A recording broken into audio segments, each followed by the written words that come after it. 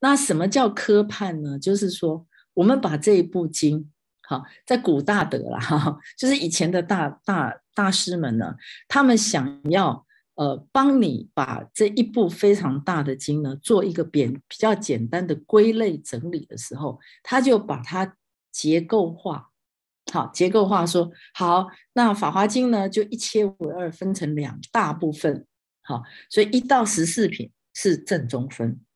那是十五品到二十八八品呢，是流通分，好，然后呢再分再分，好好，那我我们来看看，就是在在这个这个科判里面的这一块，好，科判里面的这一块，那这一块它其实在说明的是说，《法华经》的开场，那佛陀在讲大圣佛法的时候，他他以三个不同的层次在在演说，好。那跟我们的想法不一样的是，我们都会以为是从最初阶的我们会先讲，不是，他是从最高阶的先讲。也就是什么叫高阶，就是高手过招，一招就结束了。所以那个法说，好，那法说其实只有一句话，就是说佛之所以所以会出现，好，佛之所以会出现，是要开佛之见，是佛之见。好，入佛之见，对不对？好，那让大家悟佛之见，然后，然后告诉大家，全部都可以入佛之见，只有这样子。然后实如是，就这样子。那讲了这样子之后，只有谁懂？舍利佛一个，他全部明白了，那他全傻了眼了。你们两个在讲什么？我们听不懂啊，所以舍利佛才会挤出来说：“好，那老师我懂了。”可是我觉得我的同学们应该不懂，所以佛陀就再降一个等级。好了，那我用一个譬喻来开始说。所以譬说，譬喻说，这是第二周，就是第二层次，这样懂吗？那个周的意思不是一个礼拜的意思哈。好，那那这个譬喻这这这一周呢，就很有意思嘛。我们回头看，所以佛陀就讲了一个什么火灾三车喻。好，讲完了之后，哇，很多人听懂了，所以这些弟子们就说：“老师，那我们也来讲一个譬喻，来来来回应你，你你看看我们有没有听懂，对不对？”好，那接着老师又又又讲一个药草喻，说：“哎呀，你们也你们不要太难过了，好，不要觉得说我很委屈，因为那个求子喻里面把把那个长者。”把那个、那个、那个爸爸，那个、那个有钱爸爸讲的好可怜啊！这么有钱，还要还要跟着他那个儿子扫大便。那那佛陀就讲，哎，因为我是佛啊，所以我知道，我知道要要要度大家是要怎么回事。所以所以呢，哎，没也没有那么也没有那么严重。所以他讲了一个药草喻。所以他们这样子譬喻来譬喻去，就是用一种用一种故事性的方式呢，在在在对答。在对打，其实呢，在内在里面，他们各自呢就检视过招，就说啊，我懂了。好，所以老师也也也了解，老师也也也知道说，哎，学生们都懂了。那学生们呢，也得到老师的的真传了，所以大家就很开心。所以最后他就帮大家受记。所以这个法，这个譬如说，这这个就非常的温暖一片嘛，对不对？哈，就你说一个故事，我说一个故事，我再说一个故事啊，我们大家都懂了，所以我给你们受记。好，那但是呢，接下去你看哦，这个因缘说这这一周，请记得哈，因缘因缘说这一周的起始点是那个化成语，就是我们刚刚讲过的那那那一品，这一品。这一品是连续着第六品的最后一句话，就是佛陀说：“哎呀，接下来呢，我会跟你们讲我跟你们之间的恩的的因缘。这是什么？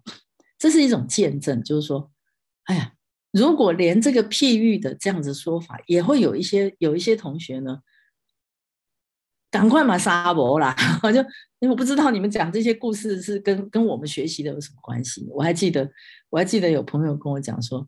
呃，有有朋友呃，跟我的朋友讲说啊，你们都说朱老师讲课，呃，这《法华经》很好听，我就听不懂啊，因为我觉得老师都在讲故事，好像跟佛法没有关系啊。好，那那这但是那是很正常的事情，因为毕竟每一个人他能够接收的，他他习惯于接收学问的方法是不一样的。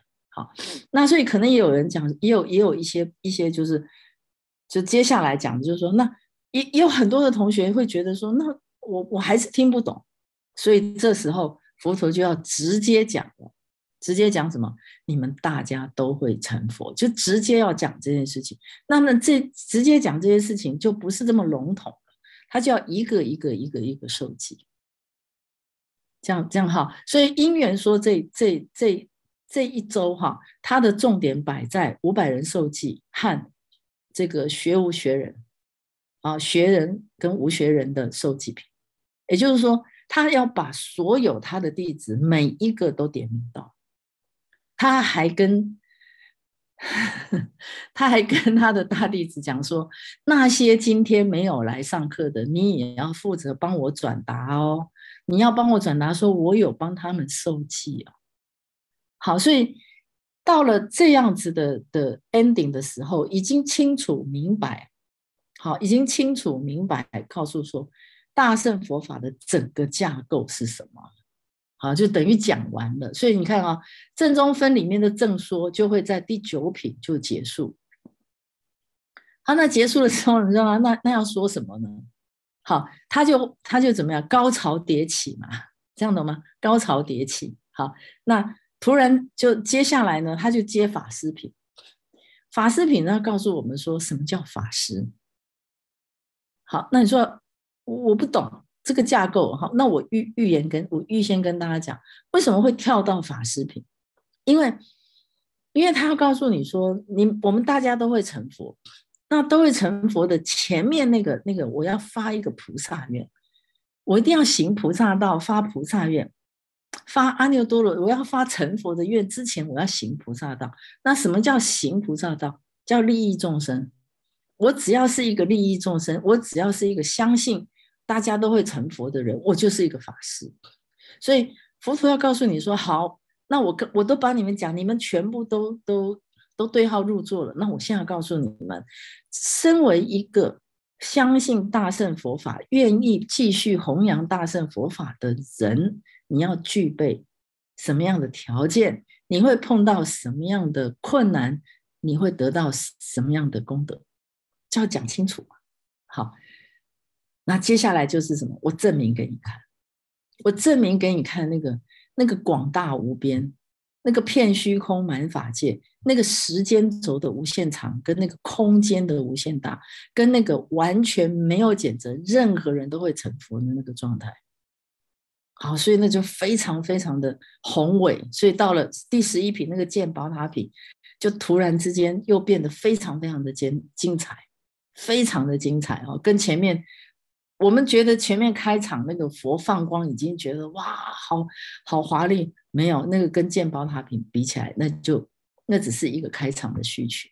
好，所以《法华周》的《法华经》的架构是这样，那读起来是非常的非常精彩的。好，所以也也也再一次跟大家跟大家这个这个宣告一下，就是我们耐着性子把它读完。好，至少至少如果是第一次读的话，我们耐着性子。跟着跟着我的进度，慢慢慢慢把它读完。那当然也有很多同学，你已经读过很多次，就像呃，在在在这个群组上面发表的那位同学，你可以一天读个一品两品。好，那那这个呃，给自己这样一个功课呢，那好像呃，其实也也不错，哈，也很好哈。那我觉得每一个人就是我们适性而为，那量力而为。